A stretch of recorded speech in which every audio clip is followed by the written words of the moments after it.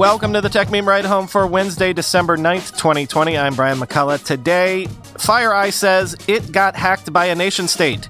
Microsoft's cloud gaming is coming to iOS in the spring. Samsung's Unpacked event is coming in about a month, and we've already got plenty of leaks about the phones we expect to see. Is Apple's self driving project still on track? And if you feel like you've been getting more spam calls this year, while maybe rents in San Francisco have been plummeting, I'm here to tell you neither of those trends seem to be imaginary. Here's what you missed today in the world of tech. If you're a regular listener of this podcast, then you should know the name FireEye. They're the cybersecurity firm that it seems like I quote from half the time when there's a major hack or security story in the world.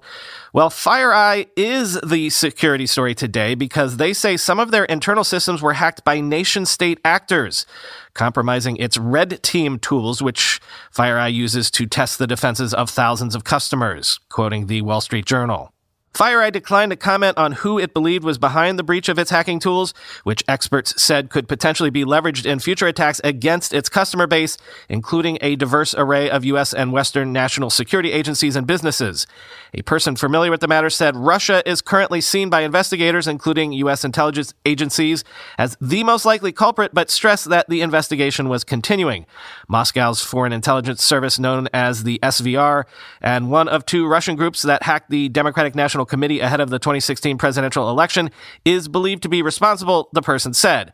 The Russian embassy didn't immediately respond to a request for comment. Quote, I've concluded we are witnessing an attack by a nation with top tier offensive capabilities. Kevin Mandia, the chief executive at FireEye and a former Air Force officer, said in a blog post published Tuesday. The attackers tailored their world class capabilities specifically to target and attack FireEye, end quote.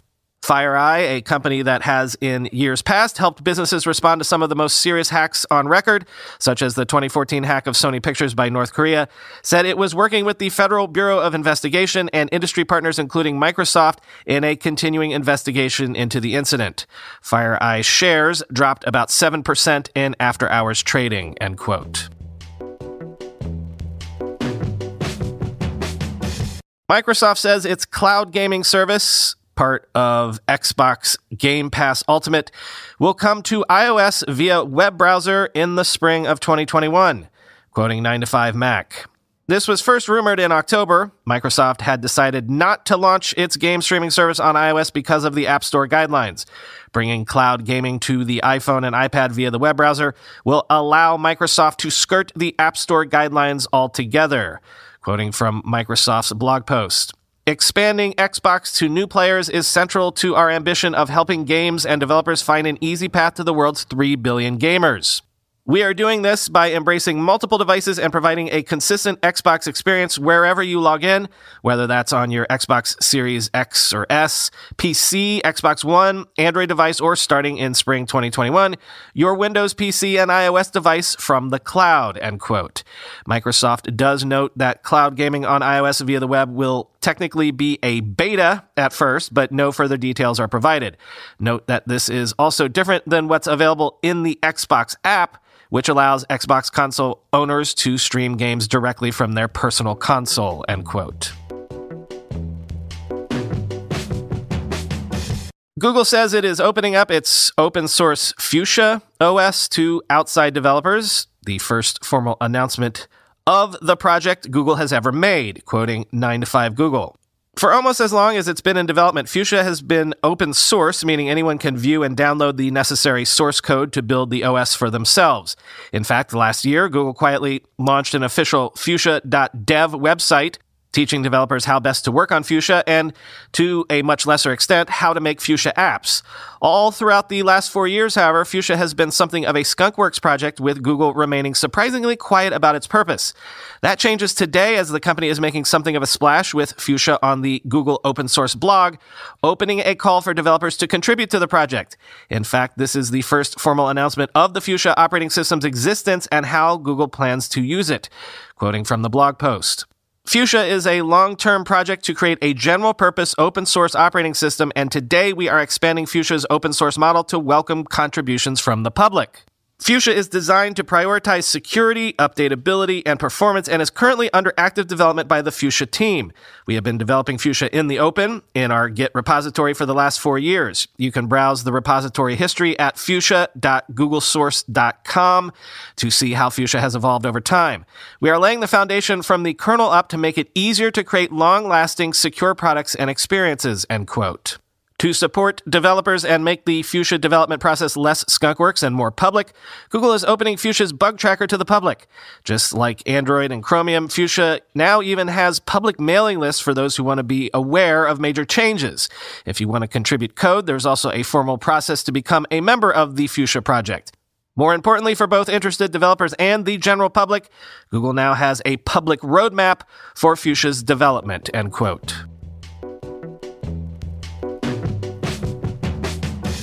Mark your calendars for the new year because the rumors are that Samsung's annual Unpacked event will take place on January 14th. Not only that, it seems that official marketing teasers for the Galaxy S21, S21 Plus, and S21 Ultra, the exact devices we expect to debut at this event, have all apparently leaked online, quoting Android Police. Pictured below, we have the Samsung Galaxy S21 5G in Phantom Violet. Up front, we get a peek at the flat display with centered hole punch cam and minimal front bezel. The frame of the phone extends up around the side of the camera bump for a very distinctive look that's fast becoming the S21's calling card. That camera bump houses a triple camera setup with a 12 megapixel main sensor, 12 megapixel ultra wide, and 64 megapixel telephoto. Samsung sets the flash off to the right of that package on the violet glass stick back. The exposed body portions of the phone will be bronze, contrasting the violet color. Samsung's Galaxy S21 Plus 5G looks pretty much exactly the same as the S21 5G. The color, overall design, and camera setup matches what we'll see from the S21. The differences here will manifest in boosts to screen size and battery capacity. The Galaxy S21 Ultra is where the design changes start cropping up. The S21 Ultra will get a curved screen instead of the flat edged glass of its smaller siblings.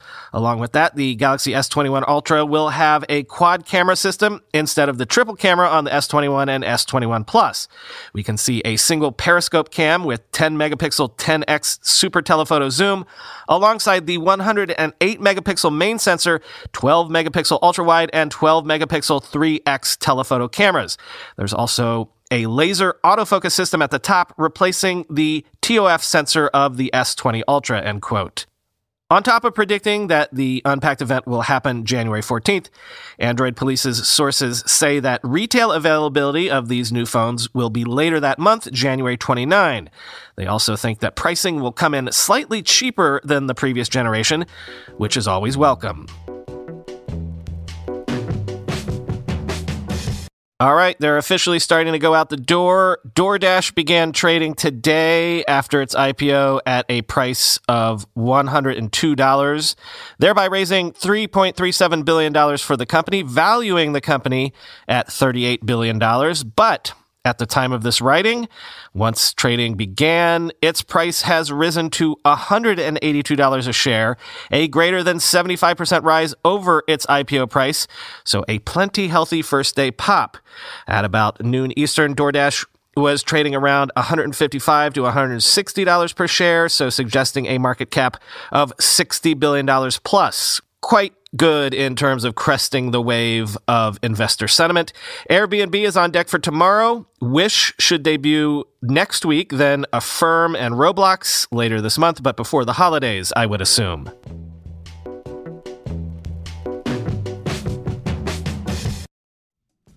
Froth.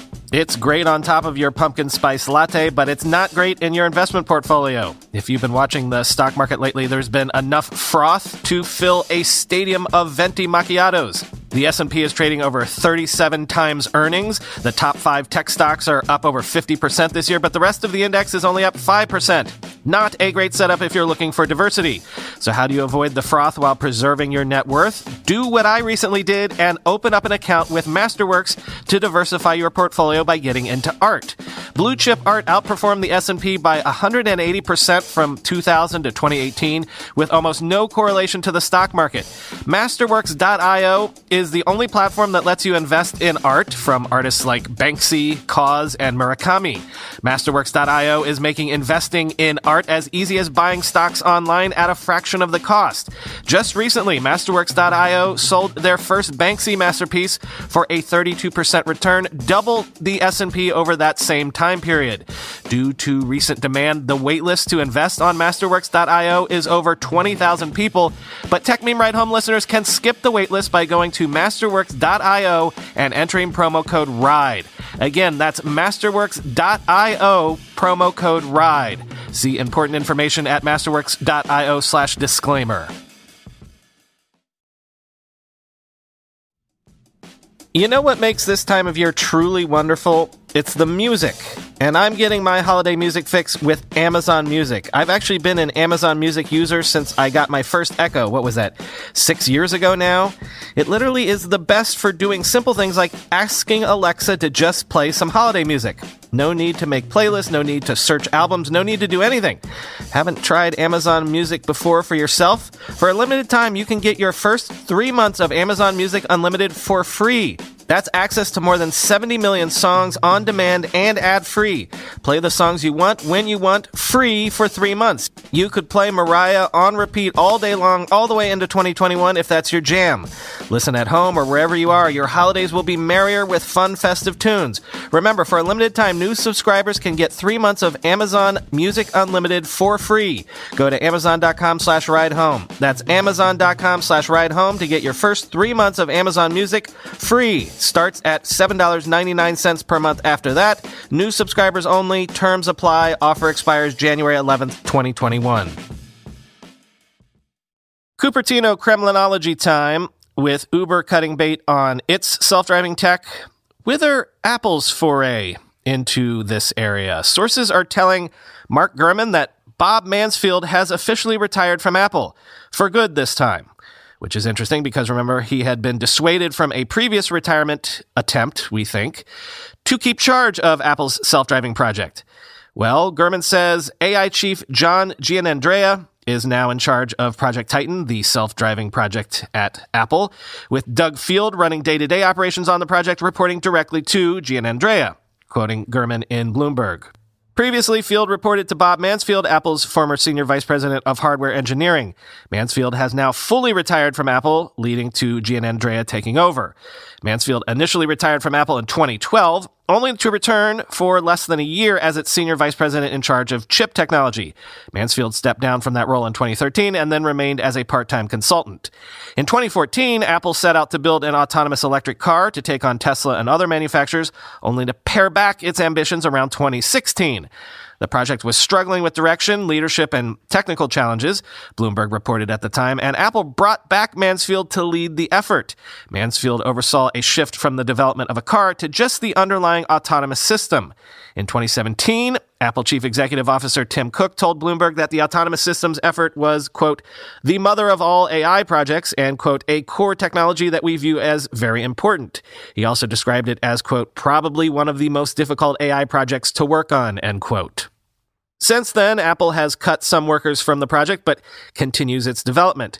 In the past, the company has weighed launching its own car, building the self-driving system for auto manufacturing partners, or designing an aftermarket kit that works with multiple different cars, the people said, end quote. Gurman also says that Apple continues to test their vehicles on California roads with a fleet of 66 test vehicles as of right now, according to the California DMV, up from a fleet of 55 a year ago.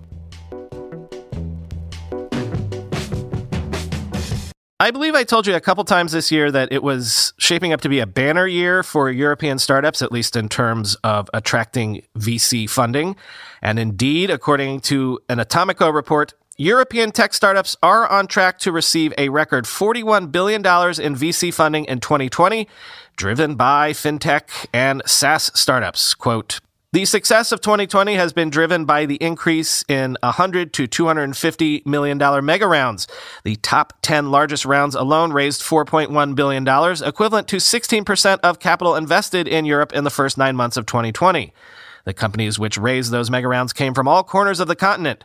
Sweden's Klarna and Northvolt, the UK's Revolut, Karma Kitchen and Cazoo, Germany's AUTO1 Group, Lilium and Tier, France's Mirakl, and Romania's UiPath.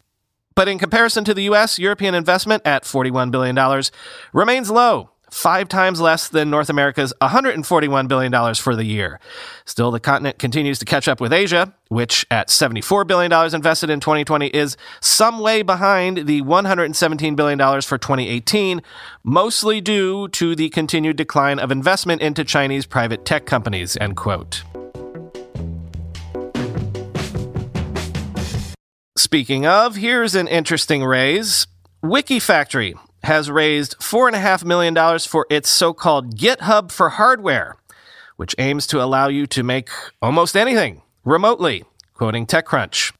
With the investment, the company will build a quality assured manufacturing marketplace as well as mirrored servers in China to open up access to its hardware capital, Shenzhen. WikiFactory is available in four languages right now and is set to expand to 20 after it raised a Series A funding round last year.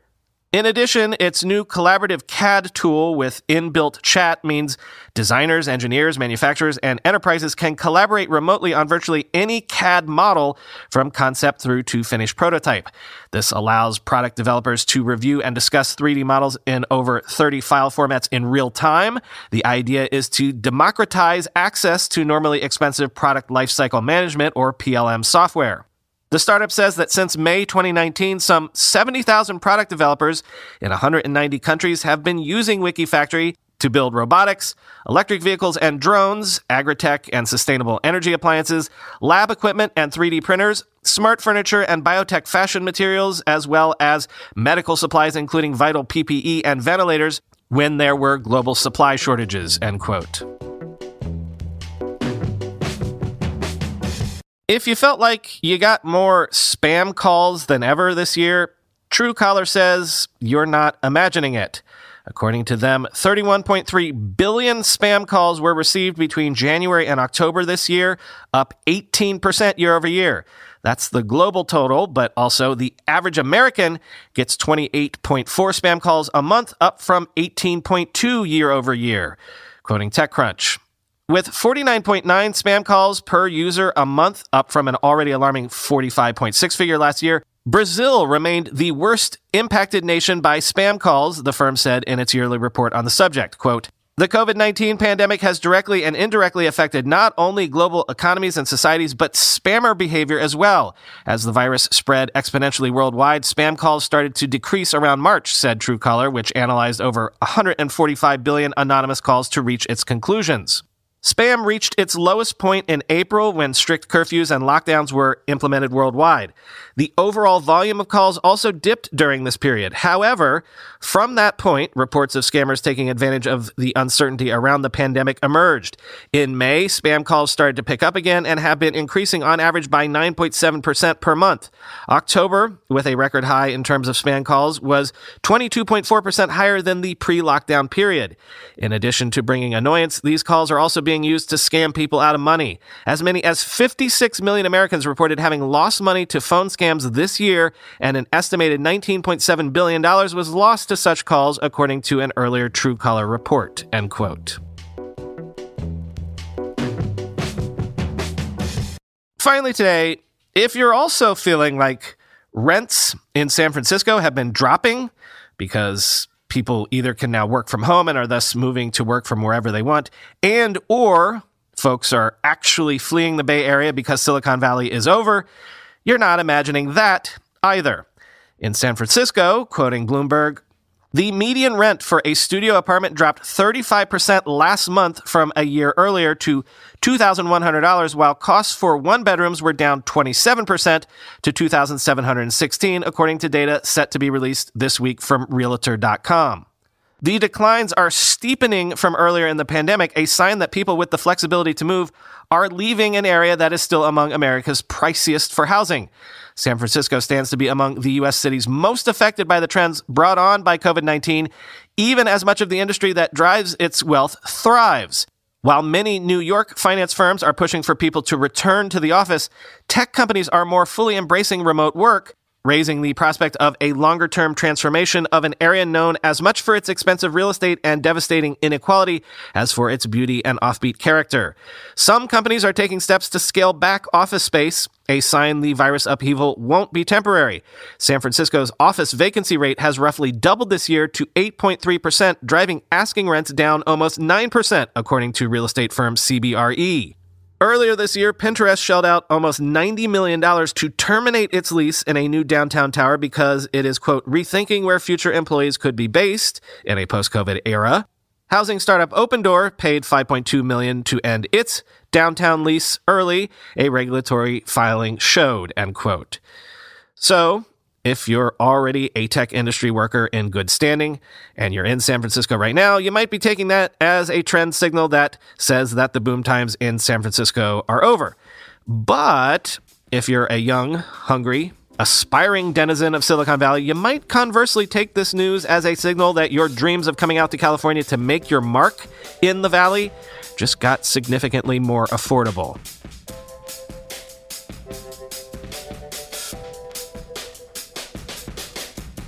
So the rumors all day have been that around the time this reaches your ears, about 2:30 p.m. Eastern Time, the FTC and 40 plus state attorneys general are going to file antitrust lawsuits against Facebook, alleging the Instagram and WhatsApp purchases were made to kill competition. I considered holding the show until those announcements were made, but then again, most of the analysis of any lawsuits that get filed would happen overnight anyway, so I decided to just wait until tomorrow so we could dive into all of that. But this is me at least letting you know that this news has happened, or probably has happened. At the time of this writing, it hasn't happened yet, but by the time you hear these words, it probably has. Again, producing this show is like living in a literal time machine. Talk to you tomorrow.